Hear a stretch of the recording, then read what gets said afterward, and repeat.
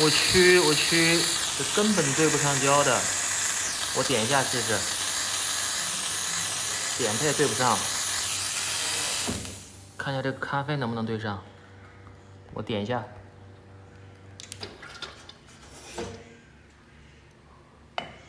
今天我来聊一聊 iPhone 的十三 Pro，以及我用了还不到一年的 iPhone 的十二 Pro Max。我为什么要把它换掉？那我相信大家已经看过不少数码 UP 主的一些测评和上手使用的视频了。那我今天呢会从不同的角度出发。那我使用十三 Pro 已经有两周的时间了。那我就从我自己平时呃使用的场景来跟大家聊一聊我自己的真实感受。嗯，拿到手机的第一时间就是哎，先把之前的数据转移过来。四百五十 G 的数据，我自己计时时间传了三小时四十分钟。那算下来的话，平均一个小时一百二十五 G，速度可还行。那其实我不算果粉，因为我并不是每一代产品必须换新。那之前基本上是隔一代一换。呃，但是由于我用苹果的产品太久，以至于我已经习惯了呃苹果的生态了。那从二零一一年就开始用呃苹果的手机和 Mac，那直到现在一直都是苹果的生态，以至于我现在看到 Windows 的电脑和安卓的手机，我就觉得。呃，非常陌生。那苹果的系统用的久了之后，真的是太过于依赖它的生态，就好像是诶陷入到了苹果设计的舒适区陷阱。那当你想要在某个设备或者是某个配件做出改变的时候，你就要承受很大的痛苦。呃，所以到最后你会发现，呃，你的电脑、呃手机、呃平板、手表、耳机等一系列全都换成了苹果。那因为我们被苹果生态绑架了。那所以说呢，去年的时候，我自己给自己买了一个二手的一加八 T 的备用机，以防自己以后变得别的操作系统都用不了，那就麻烦了。那就在今年苹果发布的那晚，我惊奇的发现，iPhone 十三 Pro 的那个蓝色怎么似曾相识？那于是我默默的拿出了我之前买的二手的一加八 T，一加 YYDS。呃，首先说一下我平时使用手机的习惯啊，我是比较重度的手机用户。呃，那每天屏幕的使用时长平均在八到十个小时。App 的使用时长呢，前两名基本上没变过。第一是微信，第二是哔哩哔哩。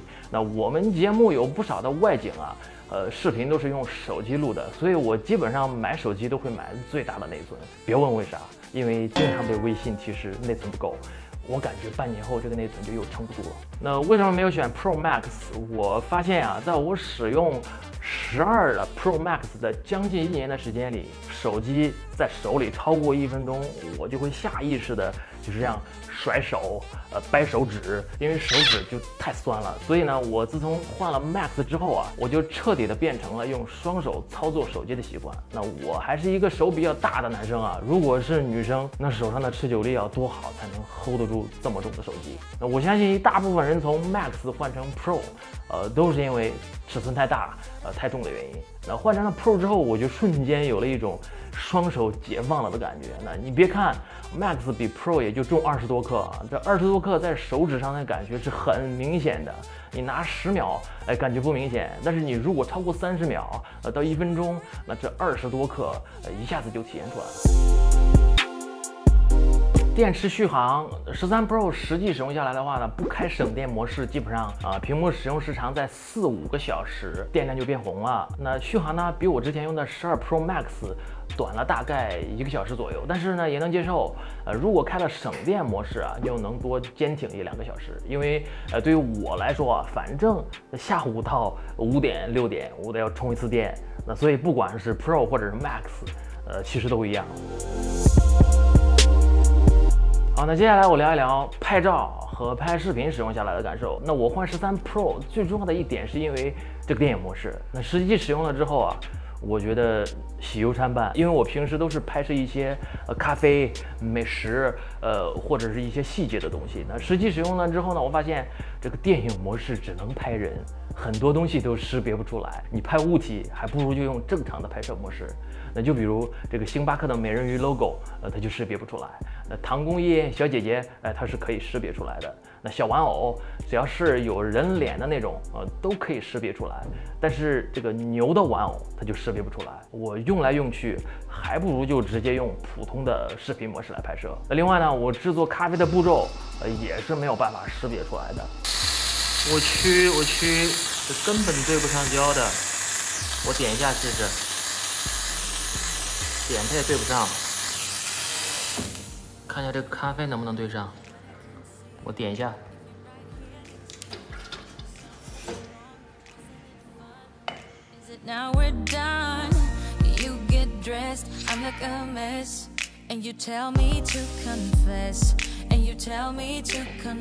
那微距镜头的切换，我感觉这个怎么说呢？就是有点像视频里边转场的感觉。有人觉得可能呃不太顺畅和自然，那我觉得其实还好，因为更容易的能让自己识别出来。那现在拍摄的这个摄像头是已经切换掉了。那拍人的话，效果还算勉强 OK，毕竟是算法出来的效果。所以说呢，整个背后的景深，呃，根据不同的拍摄环境啊，时好时不好。那边缘处的细节有时候会有一点模糊，所以说啊，电影模式啊，呃，它对环境呃光线的要求比较高才行。我觉得电影模式在算法层面需要改进，呃，不然啊，用上的场景真的不多。所以我觉得苹果这个电影模式，如果叫视频人像模式，会更贴切一些。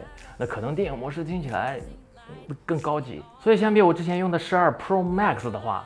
拍摄和摄像上面，在平时的使用场景下是没有任何提升的。那另外，像登录游戏的话，基本无差别，好像十二的 Pro Max 比十三还快那么一丢丢。